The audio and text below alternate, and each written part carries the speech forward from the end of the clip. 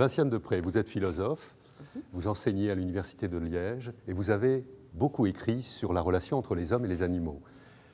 Au premier regard, qu'est-ce que vous inspire cette exposition de Gilles Ayot ben, je repense tout de suite à une phrase euh, qu'il avait écrite et qui est de dire euh, ben, les animaux sont des gens comme les autres. Et je pense que c'est quelque chose qui raconte un parcours où les animaux sont des gens comme les autres et qui me fait penser qu'à certains égards, et à cet égard-là particulièrement, il était vraiment très en avance sur son temps.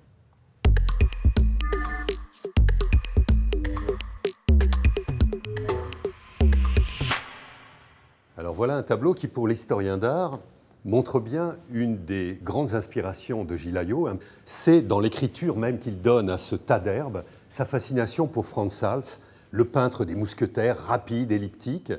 Euh, j'imagine que pour le spécialiste que vous êtes, il dit bien davantage. Je vais dire, c'est les effets que ce tableau produit et qui sont incroyables.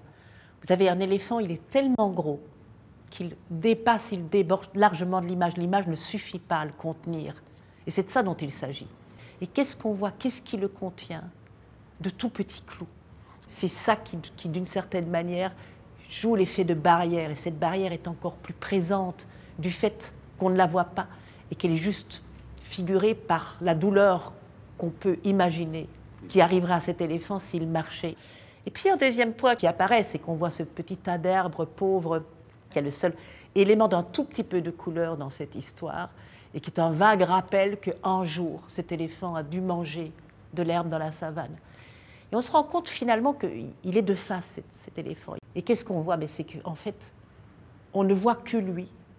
Et ça signifie une chose, ça signifie que cet éléphant ne peut pas ne pas être vu.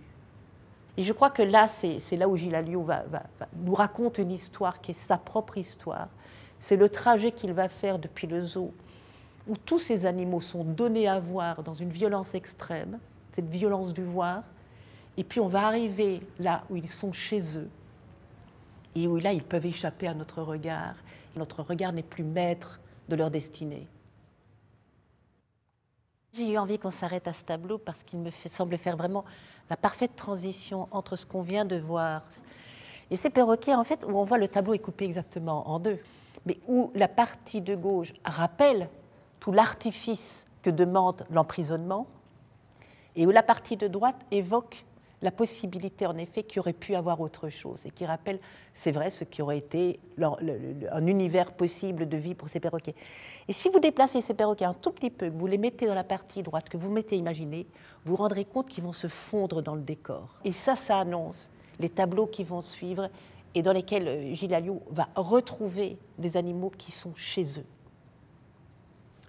À la fin de l'année 1988, Gilles effectue un voyage en Afrique. Il se rend au Kenya. En quoi ce voyage a-t-il un impact sur sa peinture? Alors on va faire le contraste avec l'éléphant qu'on a vu tout à l'heure dans la cage. Et ici, on est vraiment dans le parfait, dans je veux dire, le contraste radical. Là où dans la cage, cet éléphant était énorme, prenait toute la place, mais surtout où il y avait une peinture monochrome, lourde, d'une très grosse épaisseur, rappelant l'épaisseur des murs et de la claustration, ici, on voit un paysage qui s'étend, qui est complètement ouvert et complètement dilué, qui donne une impression d'infusion, comme disait Bailly. Et puis qu'est-ce qu'on voit? Cet éléphant, en fait, dans ce paysage, il a l'air un peu petit. Et quel luxe d'être petit dans un immense paysage quand on compare avec le fait d'être immense dans une toute petite cage. Et moi, ce que je vois, c'est un éléphant qui tourne le dos. On n'exige pas de lui qu'il vienne à notre rencontre, qu'il soit totalement soumis à ce regard qui est le nôtre. Il vit sa vie, et il vit sa vie dans un espace immense qui ne l'enferme pas. Vous venez d'évoquer un terme qui est employé par Jean-Christophe Bailly à propos des tableaux africains de Gilles celui d'infusion.